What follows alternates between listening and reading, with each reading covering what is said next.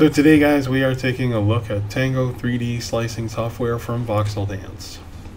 Once you import your model, in most cases this software is going to immediately want to repair it. Um, I've seen that with pretty much every model I've imported so far. So don't think that something is wrong. It's just this this program is incredibly picky about geometry. Um, once you have the model in the application, First of all, you're going to notice that the application itself is incredibly different from every other slicer application. It's bright white. The tool menus are kind of all listed at the top.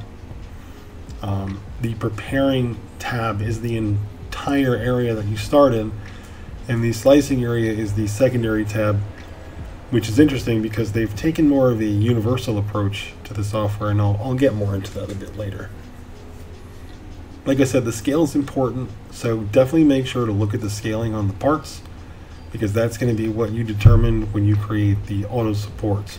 Now again, the whole purpose of this demonstration was to show how the auto supports are created and how this program actually makes decent auto supporting, whereas I have never seen any other application do decent auto supporting that actually works. Just the auto supporting, maybe a little finessing here and there, and you're good to go. In most cases, I would say no, don't do it this program has actually proven me wrong. However, there are so many other things with this application I don't love because of its. Again, I'm going to get into some of that later, but there's some things that it's done right and some things that it's done wrong.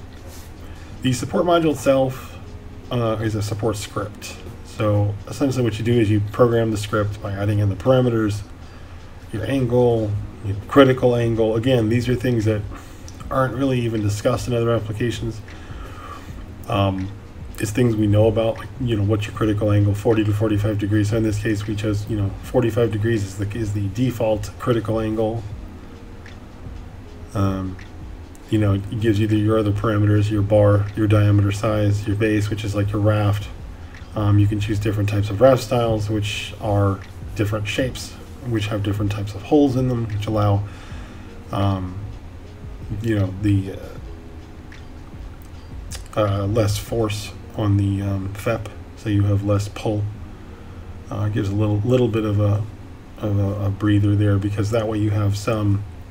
It's almost like ventilation, I want to say in a way, and at least in those beginning phases where you're printing that thick raft, you know, when you're you're putting all that material down, um, those will stress the FEP a little bit, so that helps. That's why sometimes I will use a uh, line triangle support system rather than a shape raft or um, the larger rafts. Sometimes I use the rectangles if it's a really big piece. Now, the tool sets are pretty vast, and also some terms and phrasing on some of the tool sets have been a little bit, they're a little different if you are mostly used to resin printing, some of the terms are, to me, uh, they, they, they are for FDM. Like there's some features in here that I think you can use for both resin and FDM. So that is an interesting thing that this is a combined software. I believe Prusa Slicer is a similar um, thing where you can you can do both. Again, I don't have a lot of experience with uh, a lot of the other slicers besides Lychee, Chitu, and Photon. Those are kind of the three that I have spent most of my time with. And honestly, I spend 100% of my time in Lychee, so that is really my go-to for most of it. Um, the editing is really weird for these, for the supports. Um, like I said, they have these different presets. We chose to use one on this particular one that was set up for a 60 millimeter figure, uh, or rather between 30 and 60, or 36 and 60. So I chose the 60 one as it was the bigger option, not the smaller option.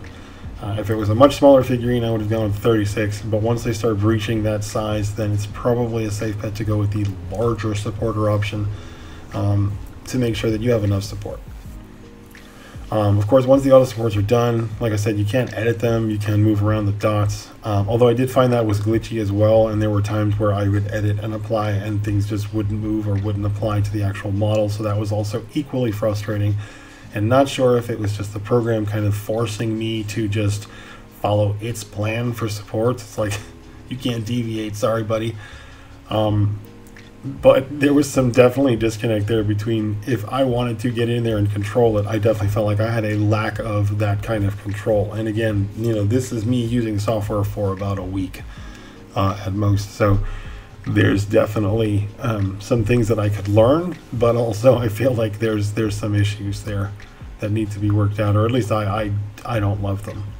Now, of course, once you're done, you, we're not going to slice in this. I'm just going to export this as an STL, and then we're going to pop right over to Lychee. And we're going to take a look at this file, and I'm going to show you exactly some of the reasons why this isn't perfect, but why it will work with a little bit of extra effort. And honestly, it's not terrible if you've got a ton of minis that you need to support, and you got to get them done real quick this is a very interestingly fast way to get them done and then you just need a little bit of time in your slicer checking out islands just making sure that the software didn't miss any which by the way you will you will find islands um, okay now Lychee is always going to complain about the file needing to be repaired as well so that's another thing you're going to have to deal with even though the file was already repaired it still has holes again uh, there's something happening with geometry there that um, is behind the scenes there that I'm not even really uh, fully seeing. Um, honestly, one of the biggest complaints that I have between working with uh, Lychee, Chitu, Photon, and now Tango is that Tango has decided to take more of a universal approach, like I said, rather than a linear approach to slicing. And to be fair, it's different, but also odd to switch to if you're used to the linear approach that pretty much all other slicing software uses. Whereas you have a layout area, prep area, and an export area. Tango uses general larger tool set, very smart auto supporting, and some nifty tools for hollowing, infill for FDM, honeycombing, holes, removing the holes using those for print. There's a lot of neat stuff there, but to the new users just getting into this, Tango is a vast sea of stuff, and I think it's too daunting.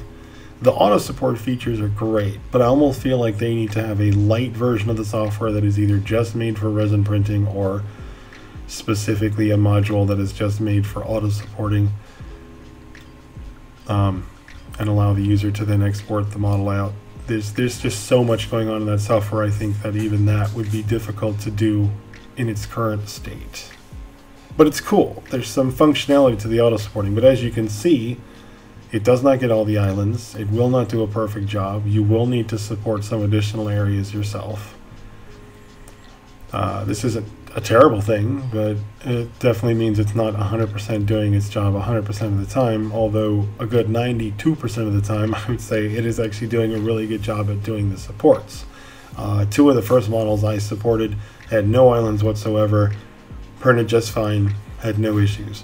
The third one, I needed to add some additional supports. And then the fourth one, actually some of the support structures itself failed in on itself, pancaked, but the model itself still survived. Now again, I don't know if that's a functionality of some of the way that these support towers work. If part of it collapses, the other parts can still maintain the model. If that's so, that's pretty cool because that actually worked to my advantage and the model still actually printed. I didn't even get any sticking or any objects cured to the FEP, so there was no damage or anything either. All in all, wasn't a bad experience, and even that being a partial fail, the model itself still succeeded. Anyway, we'll just go ahead and keep checking the rest of the model here for the rest of the islands. There aren't that many, although it did miss some, and the eye, actually over the eye in this area is a little islandy spot. And I'm just going to do my little mini support trick there because um, we don't want to put anything heavy on this guy's face. And we don't want fusing either, which will happen a lot, especially with the uh, DLP resins. They happen, they, they fuse at, a, clo at a, a, little bit of further distance than some of the other ones because of their uh, ability to uh, cure quite quickly. You'll get a lot more fusion problems. I've had to kind of adjust some things using the DLP resins. They're very good, great detail, wonderful, wonderful fluidity, fluidity, but uh, yeah, a little little adjustment, learning curves with everything, I guess, right? Okay. Anyway, I think my overall takeaway from after doing a few successful prints using the support function is that it does work very well in, in, in all actuality. Uh, it's not perfect, like I said. It does not do islands well, that is easy enough to handle once you get the file into another slicer. Or you can even use Tango itself for that, though that process is a much longer, weirder process because of the way the editing system works in Tango 3D. I didn't love it. Maybe you do. Maybe that's the way your jam works. Personally, I am used to the way every other software does it, where you literally lay down the supports. Um, yeah, it's just strange the way that works. So I'm still planning on using Lychee as my go-to for slicing, and honestly, just because I'm familiar with it a lot more, the settings make sense to me. The terminology makes sense to me. It has the terms that I'm used to. Uh, in Tango, they've decided to change the terminology of light off delay to wait. So there are now terms that refer to wait before cure or wait after cure. Um, and some of the other additional settings and names have been modified a little bit. I'm, I'm assuming to suit whatever the design of the application, whoever came up with this application, this was you know their concept. But to be fair, this industry already has some terms that we are used to. So to go and change that, I think, is kind of strange. Um, it's not terrible, but it is kind of strange. So if you are used to using other slicer softwares, this is going to feel like you are on another planet in some cases. Some of it will feel familiar, but other parts will feel completely strange. But if you're just using it for a little auto support tool, mean, not terrible. Honestly, it's a it might be a little pricey for the monthly charge for that. So I don't know. I believe we paid uh, 20 bucks to get a month for this. So I think that's what the, I'll have to check, but I think it was about that price. If you guys want, I'll put a link to the software in the description as well, so you guys can check it out if you want. Um, play around with it, check it out. Let me know your thoughts. It's, it's definitely interesting. I definitely have to spend some more time with it to really fully kind of make judgments um, on it 100%. Right now, I'm going to say it's not my favorite thing. It does do some pretty wild things with these supports, but as you can see, they're not perfect. I mean, they're literally balancing some of the parts very precariously. Um, and I'm not really sure that that would be the way I would do it personally. So, you know, again, these just these require a little adjustment here and there to make sure that the things are set up the way that you know you would want them.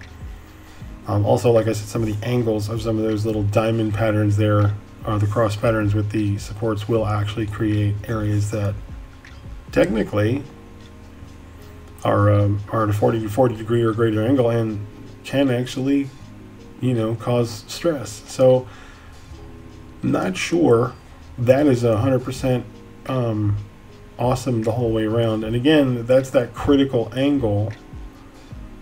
So those are things that can be adjusted. Um, but like I said I've had success with the prints. So uh, I'm not being too harsh on the auto supporting. It's it's done a decent job. You just need to go in and kind of clean it up. A little bit.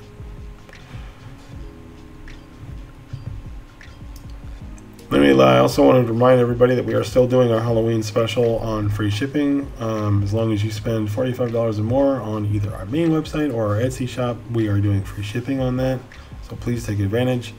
We are also still doing the Halloween giveaway until the end of the month. You have until the 31st to submit that subscribe and put a comment on any one of these videos and just say, give me my minis. And uh, you are entered. And we're looking for you guys to subscribe and comment. So tell us what you think. Anyway, I will be doing some more videos on Tango 3D. I am going to be checking this software out a bit more. I am going to be analyzing it as closely as my brain can possibly dig into this. So do check us out. Like I said, subscribe. Ring the bell if you want notifications on those videos and all the other stuff that we do try to bring to you guys every single week. Uh, some weeks we're going to have tons of videos, other weeks it's going to be a little bit less, but it all depends on how much time I have to devote to this stuff. Anyway, that is it for this. Thank you so much for watching. I really do appreciate it. I'll leave you guys with the end of this and uh, see y'all real soon.